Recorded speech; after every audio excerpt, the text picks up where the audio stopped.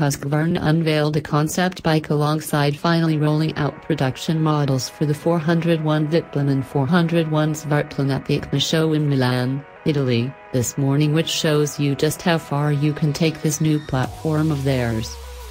The Husqvarna Vitpilen 401 Aero is little more than a 401 Vitpilen in fancy clothes but Husqvarna and design firm Kiska have done a great job using it to show just what a great platform they've created for customization. Aero adds an aerodynamic fairing and little windscreen and a fancy little tailpiece, but the look is completely different than the Vitpilen that will soon be hitting sales floors.